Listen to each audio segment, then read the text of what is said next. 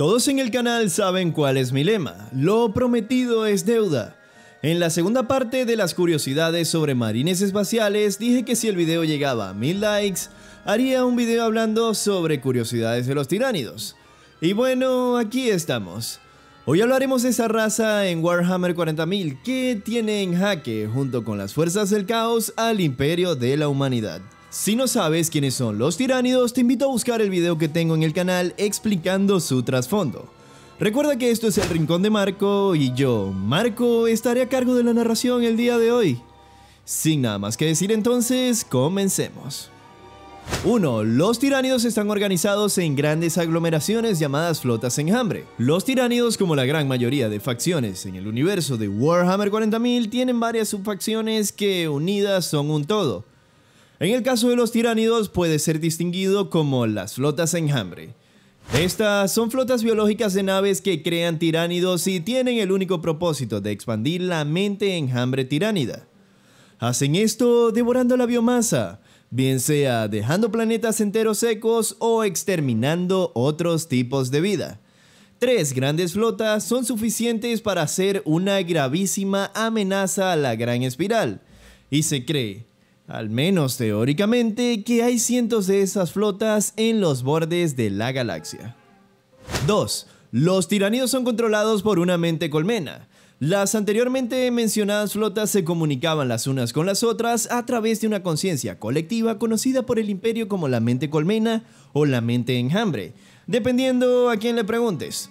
Dicha mente toma información de uno y cada uno de los tiránidos, y en base a ellos toma estrategias sobre, por ejemplo, cuáles planetas van a absorber y cómo lo harán. Puede, incluso, invadir la mente de muchos otros organismos y bloquear las comunicaciones interestelares por completo.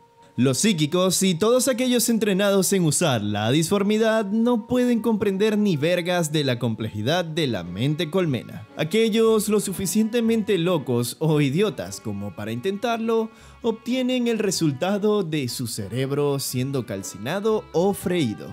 3. Se expanden a través de la ingesta de biomasa.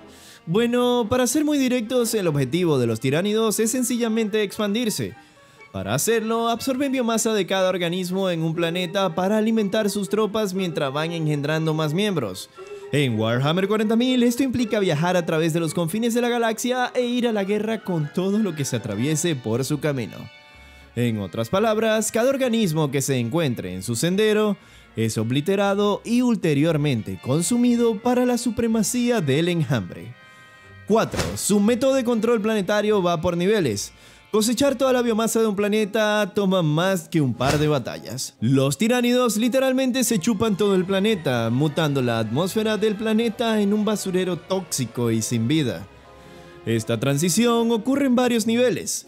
El proceso comienza con la infiltración de la mente enjambre enviando a los Gen Stealers y a los Lictors para recaudar información y transmitirla a la mente enjambre. Posteriormente, la flota es llamada para aterrizar en el planeta. Los asaltos comienzan entonces donde cientos de miles, si no millones, de tiránidos invaden y atacan para eliminar cualquier tipo de resistencia y tomar el control. Hecho esto, largas torres capilares emiten un miasma que es donde comienza el nivel de subyugación. La fase de absorción, siendo ya la última, comienza una vez que toda la atmósfera del planeta no es más que un mar tóxico y radioactivo. Los recursos son enviados por los capilares a la flota, completando el proceso de asimilación e invasión.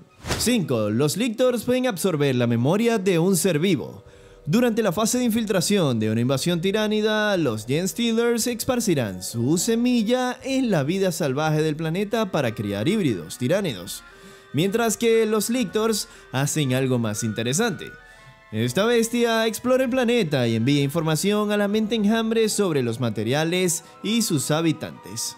Una de las formas del Lictor para recaudar esta información es extrayendo la memoria de sus enemigos. Y esto es, en esencia, comiéndoselo, donde obtienen la memoria como si fuese de ellos mismos.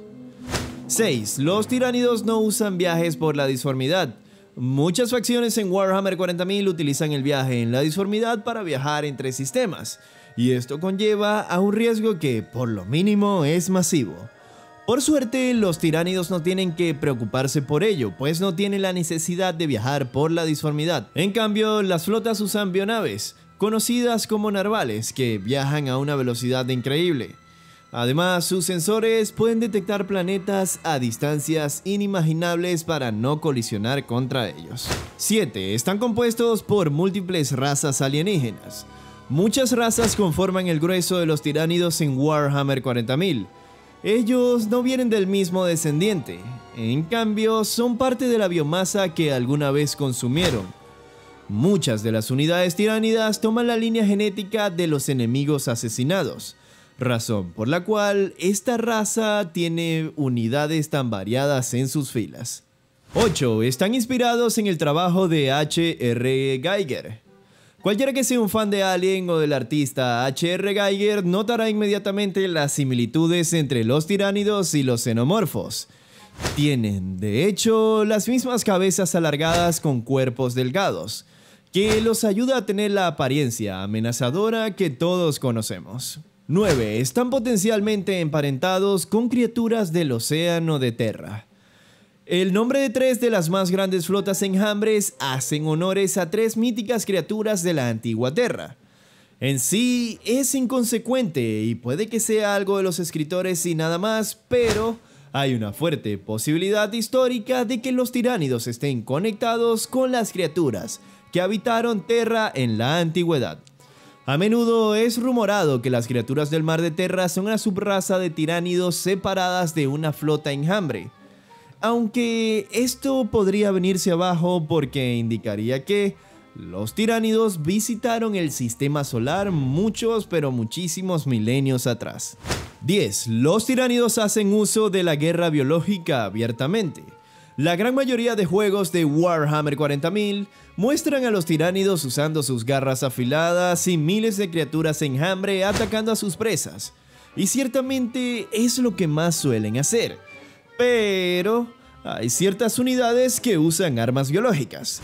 Las armas usadas por los tiránidos no son balísticas. En cambio, estas armas disparan cepas de virus y microorganismos que literalmente devoran la armadura y la carne de sus blancos.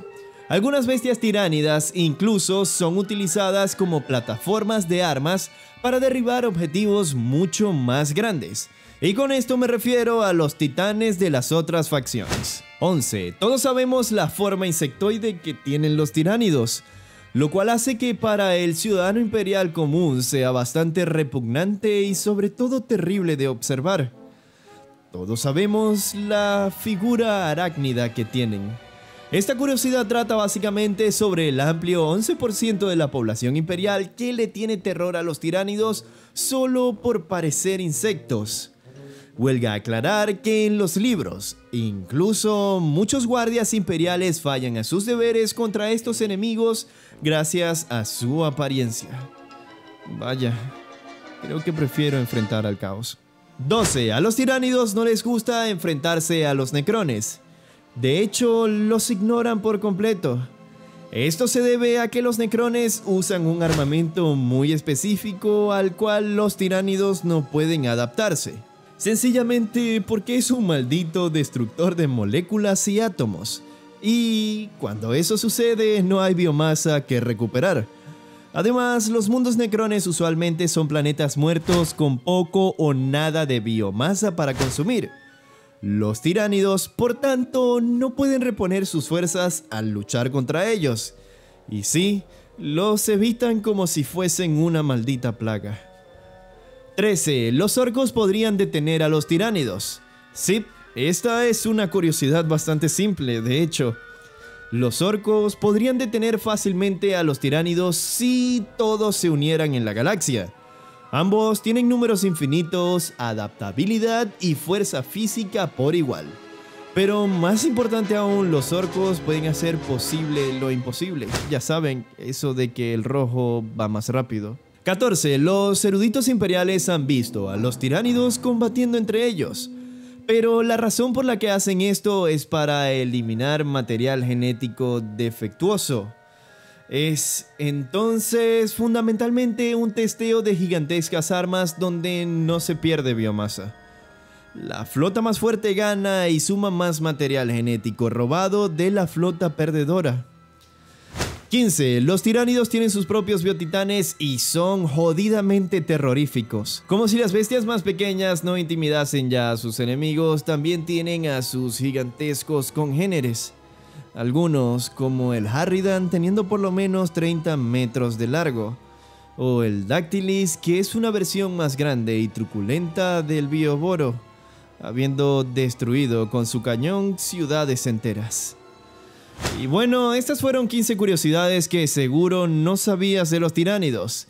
Te invito a votar en la caja de comentarios si en el próximo video de esta saga de curiosidades quieres curiosidades sobre los Eldars, los orcos o los marines espaciales del caos.